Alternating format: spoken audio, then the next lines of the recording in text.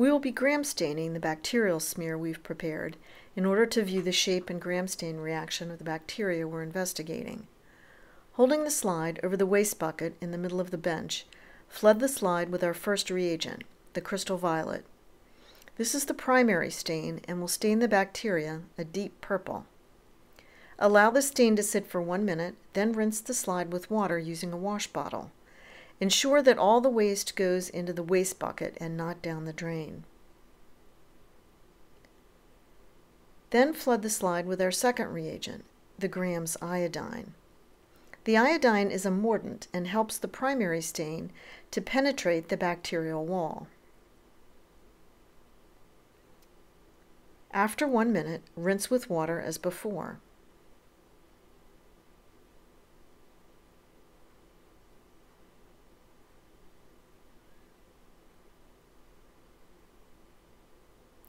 The decolorizing step is third and is performed by dripping the alcohol acetone mixture onto the slide until the color runs clear.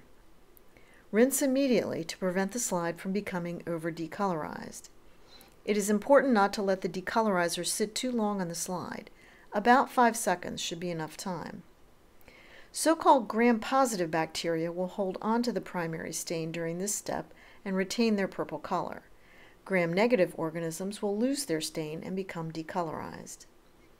The fourth and final step of this procedure is to flood the stain the slide with counterstain, safranin.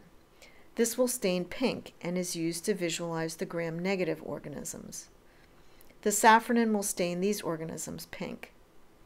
After 30 seconds, rinse the safranin from the slide and shake off the excess water. The slide can be partially dried by running the edge over a paper towel and by wiping the back of the slide. Do not wipe off the front or you will wipe away your smear. Place the slide on the slide warmer to finish drying.